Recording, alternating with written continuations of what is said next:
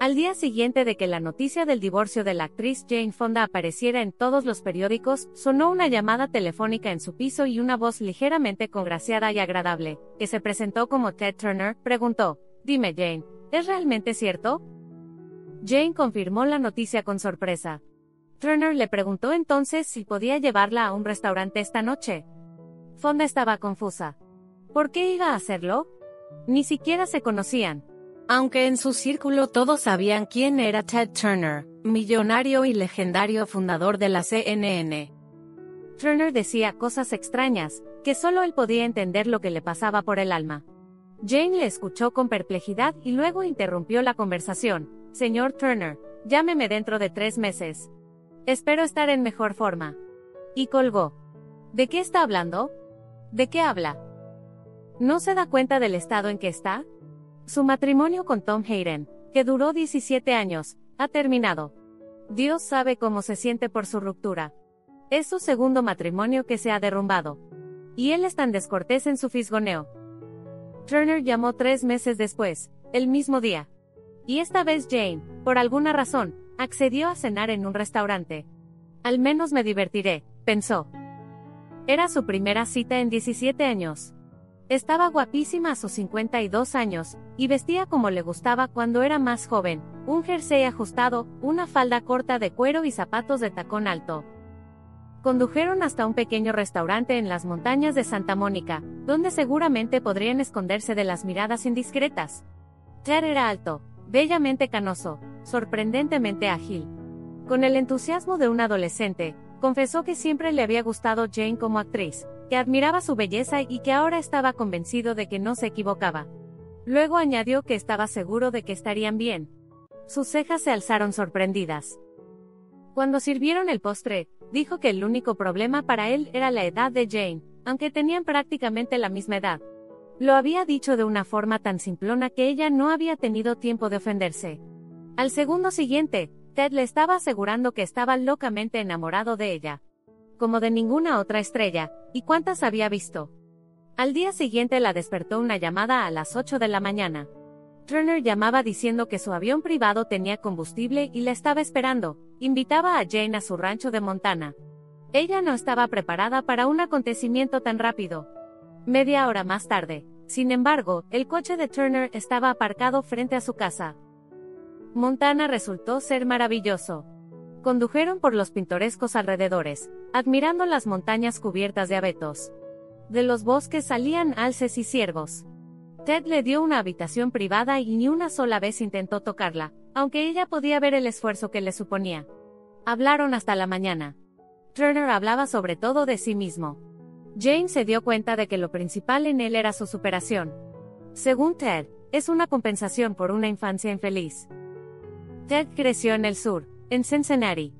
Su padre, propietario de una pequeña empresa, bebía y cambiaba a las mujeres como si fueran guantes, diciendo, son como un autobús, pierdes una y llega otra, volvía a casa a medianoche, despertaba a su hijo y le acosaba hasta la mañana con historias de sus aventuras nocturnas.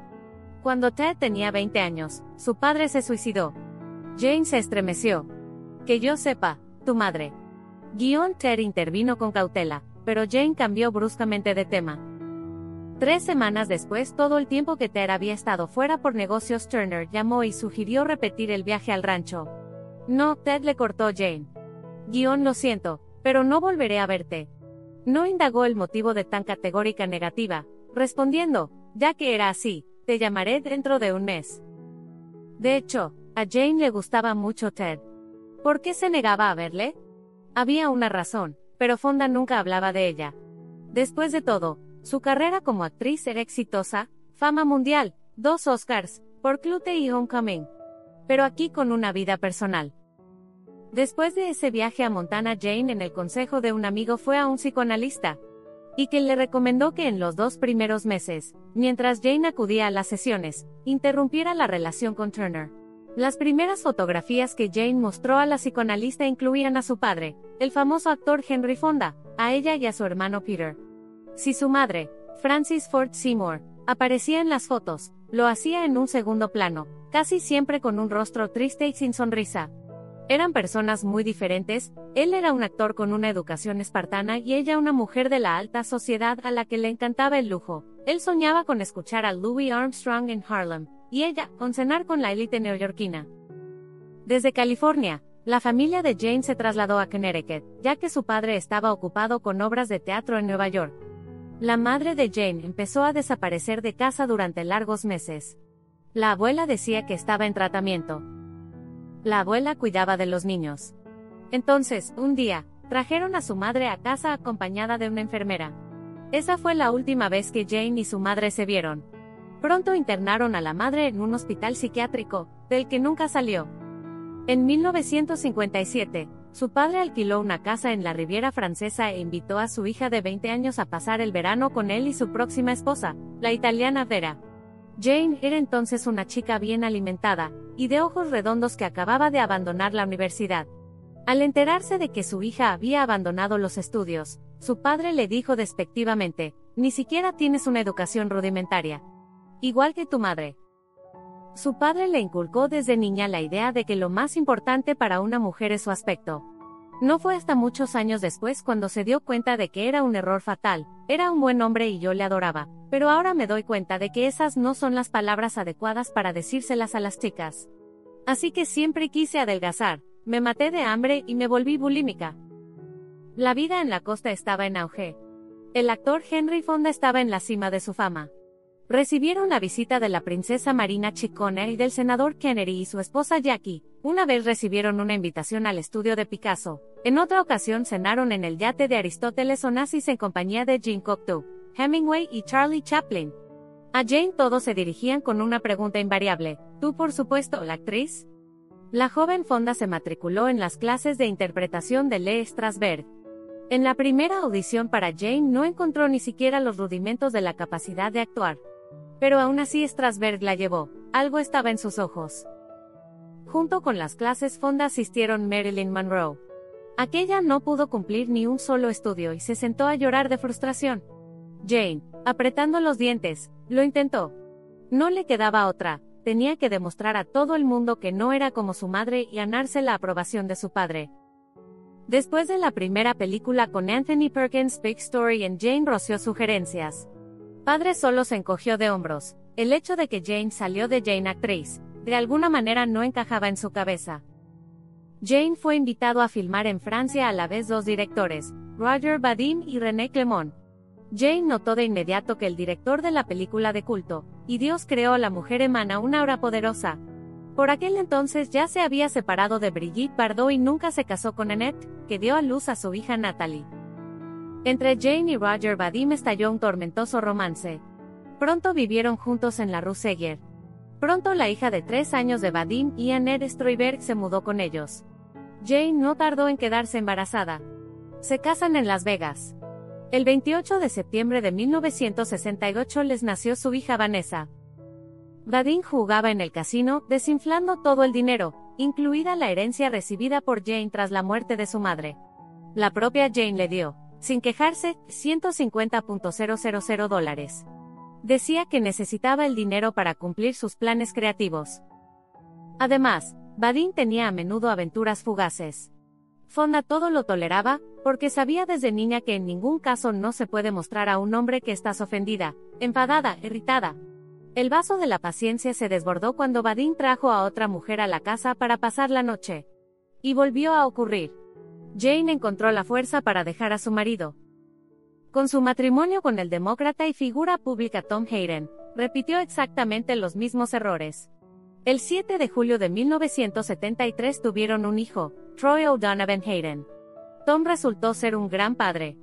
Toda su vida obsesionada con la idea de la perfección personal, en los años 80 Jane Fonda decidió promover un estilo de vida sano y el deporte como única forma de lograr unas formas impecables. Y lo consiguió. También siguió actuando en películas. Las relaciones con su marido empezaron a deteriorarse rápidamente tras el estreno de la película Homecoming. Jane tuvo una escena de cama con John Boyd, que interpretaba a un veterano paralítico de la guerra de Vietnam, para la que invitaron a un suplente. Tras ver las imágenes, Jane quedó horrorizada y decidió que se interpretaría a sí misma. El rodaje de la escena duró un día entero. El lugar estaba vallado y, salvo los dos actores, el cámara y el director no dejaron entrar a nadie. Bravo. Corten. Guión gritó al final el director. A pesar del Oscar que recibió su mujer, la película causó una impresión desagradable en el marido de Jane. Tom siseó tras la proyección, espero que te lo pasaras bien con ese tipo. Tom empezó a ser grosero, a regañar por nimiedades, y una vez en presencia de invitados dijo, ya sueño con tu amabilidad. En sus 51 cumpleaños, Tom admitió que amaba a otra mujer. Un año después de separarse de Hayden, Jane aceptó la propuesta del magnate de los medios Ted Turner. Se casaron en otoño de 1991. Para disgusto de los niños Vanessa y Troy, que estudiaban en la universidad, Jane vendió su casa de Santa Mónica, y se mudó al rancho de su marido. Ted puso una condición, Jane debía abandonar el cine. Fonda, decidiendo que era su última oportunidad de ser feliz, la aceptó. Turner estaba orgulloso de su esposa como un niño nuevo y juguete favorito, la llevó de viaje, la presentó a la élite empresarial del mundo. Turner descubrió muchas cosas extrañas. Aquejado durante años de insomnio, exigía que Jane estuviera despierta con él hasta el amanecer. Al mismo tiempo, Hablaba sin parar de su infancia, entrando en nuevos detalles. En su siguiente visita al psicoanalista, Jane oyó, tienes que escuchar tus propios deseos y aprender a vivir para ti misma. Solo entonces te sentirás feliz. Fonda le habló al doctor Cotland de Ted. Si un hombre de 50 años se comporta como un adolescente, tiene problemas emocionales, concluyó el médico. Jane descubrió a través de conocidos comunes que Turner no podía pasar un día sin una mujer. Con su esposa viva, tenía amantes en todos los estados y ciudades europeas.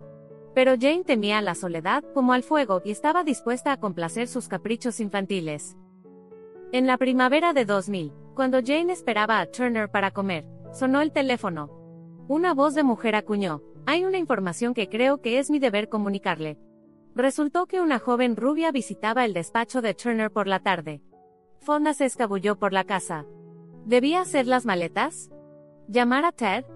¿Conducir hasta su oficina? Cuando Ted llegó a casa, ella interpretó un sketch de actuación, una esposa cariñosa besándose tiernamente, preguntando cómo le había ido el día a su marido, sirviendo una deliciosa cena. Se despreciaba a sí misma, pero intentaba no pensar en lo que le impulsaba. Hizo exactamente lo que su madre había hecho una vez. Una vez, en un arrebato de franqueza, Henry Fonda le había contado a la Jane adulta que su madre, que había descubierto que tenía una amante embarazada, le había ofrecido dinero a cambio de su silencio. Jane se horrorizó al pensar que su madre, Francis, la había conquistado. Entonces Fonda, tras 10 años de matrimonio, solicitó el divorcio y se fue a vivir con su hija Vanessa, que acababa de tener un hijo. Ahora ya no tenía miedo de estar sola. Me educaron de tal manera que el sentido de mi vida era agradar. Quería que mi padre me quisiera, así que me doblé como un cuerno de carnero para convertirme en lo que él deseaba que fuera. No me bastaba con ser lo que era. Tardé 60 años en convertirme en lo que siempre debía haber sido, yo. Guión confesó Jane. Desde entonces, ha pasado por muchas más pruebas, dos veces le diagnosticaron cáncer. Sin embargo, a pesar de todo Jane Fonda sigue soportando con entereza todos los golpes del destino e intenta no perder la armonía consigo misma, que intentó alcanzar durante toda su vida y solo encontró después de los 60. Ahora la actriz tiene 83 años.